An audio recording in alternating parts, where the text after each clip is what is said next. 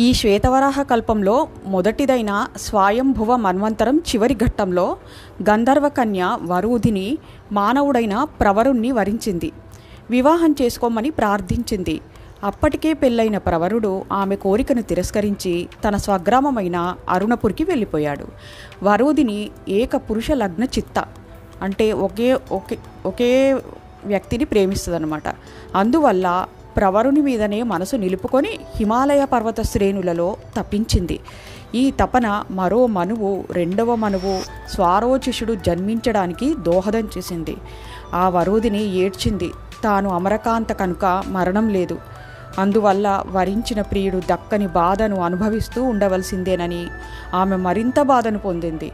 మానవ మహిళల అదృష్టం తలచి అను అసూయను పొందింది.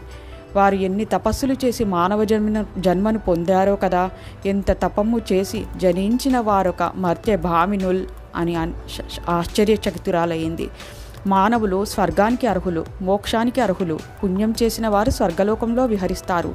పాపపుణ్య బంధ విముక్తులైన మానవులు మోక్షాన్ని కూడా సాధిస్తారు. పాపం చేసిన మానవులు నరకానికి పోతారు. అందువల్ల పరమాత్మతో అద్వైతం సాధించడం మానవ జన్మకే సాధ్యం. దేవతలకు ఈ మోక్ష సాధన సదుపాయం లేదు. వారు కల్పాంతం వరకు దేవతలుగా ఉండాల్సిందే.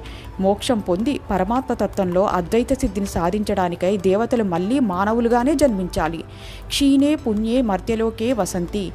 పుణ్యం నశించిన స్వర్గలోకవాసులు మానవలోకానికి మాత్రమే వా- అలాంటి వారు మాత్రమే మానవలోకానికి వస్తారు నివసిస్తారు. అంతేకాని మోక్షాన్ని పొందలేరు అన్నది కర్మజీవన సిద్ధాంతం. అందుకే జగద్గురువైన ఆదిశంకరాచార్యుడు జంతువురా జంతువునాం నరజన్మ దుర్లభం అని చెప్పాడు. అందులో వైదిక ధర్మ మార్గ పరత మరింత కష్టమని ఆ మహనీయుడు చెప్పాడు. వైదిక ధర్మ మార్గ పరత్వం భారతదేశంలో జన్మించిన వారికి సహజ స్వభావం. వైదిక ధర్మబద్ధమైన కర్మజీవన పదంలో నిరంతరం పయనించిన శ్రామికులు మాత్రమే స్వర్గం శ్రామికులకు మాత్రమే స్వర్గమైన మోక్షమైన లభిస్తుంది.